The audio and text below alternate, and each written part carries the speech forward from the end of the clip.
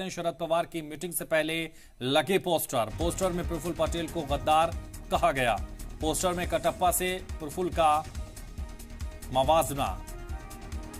Poster में प्रफुल्ल पटेल को गद्दार बताया गया है।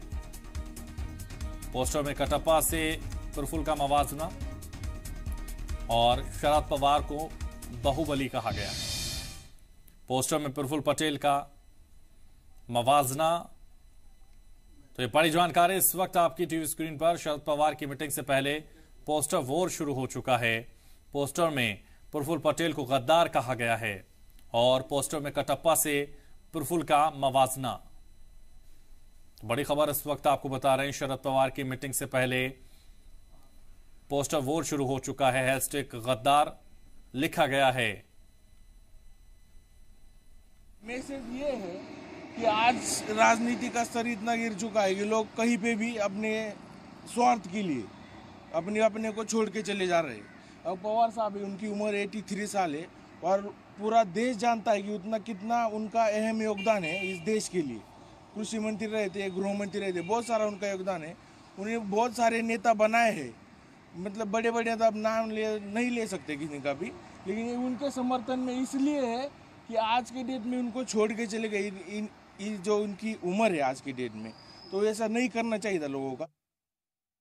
राष्ट्रवादी कांग्रेस पार्टी की लड़ाई अब मुंबई से निकलकर दिल्ली पहुँच गई है और आज दिल्ली में कार्यकारिणी की बैठक है, लेकिन उससे पहले राजधानी दिल्ली में जो राष्ट्रवादी कांग्रेस पार्टी का दफ्तर है, वहाँ पर पोस्टर वॉर छिड़ गया, जो पुराने पोस्टर लगे हुए थे, जिस पोस्टर में अजीत पवार के अलावा प्रफुल्ल पटेल थे, उन पोस्टर को हटाया गया था और इस तरीके से पोस्टर राजधानी दिल्ली में अलग अलग जगह पर लगाया गया। लेकिन पार्टी दफ्तर के बाहर जो पोस्टर लगा, वो कई महीने में राजनीति को बताने के लिए काफ़ी है कि कैसे शक्ति प्रदर्शन की ये लड़ाई चल रही है। पार्टी के अंदर अंदरूनी जो लड़ाई चल रही थी, एक तरफ़ भतीजा अजीत पवार अलग गुट बना चुके हैं और खुद राष्ट्रवादी कांग्रेस पार्टी के अध्यक्ष बनाए हैं और अब ये लड़ाई कहीं ना कहीं चुनाव आयोग पहुंचेगा कि सिंबल किसके पास होगा, लेकिन उससे पहले ये पोस्टर लगाया गया और इस पोस्टर में कहीं ना कहीं एक इमोशनल मैसेज लिखने की कोशिश की गई है। सच और झूठ की लड़ाई में पूरा देश शरद पवार साहब के साथ है और इस पोस्टर में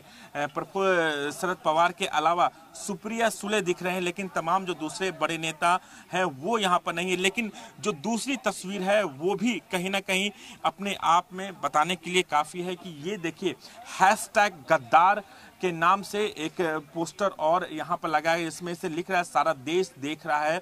अपनों में छुपे गद्दारों को माफ़ नहीं करेगी जनता, ऐसे फर्जी मक्कारों को। और ये पोस्टर कहीं ना कहीं आपको ये याद दिलाएगा कि कैसे कटप्पा ने बाहुबली को मारा और कहीं ना कहीं इस पोस्टर के ज़रिए ये बताने की कोशिश की जा रही है कि इस पोस्टर में शरद पवार बाहुबली हैं और अजीत पवार कटप्पा के रूप में हैं और राष्ट्रवादी विद्यार्थी कांग्रेस की तरफ़ से इस पोस्टर को लगाया गया हैशटैग गद्दार के नाम से। तो कहीं ना कहीं इस पोस्टर के ज़रिए राजनीति में जो राष्ट्रवादी कांग्रेस पार्टी है, कहीं ना कहीं शक्ति प्रदर्शन बता दिखाने की कोशिश कर रही है। दो बजे के करीब शरद पवार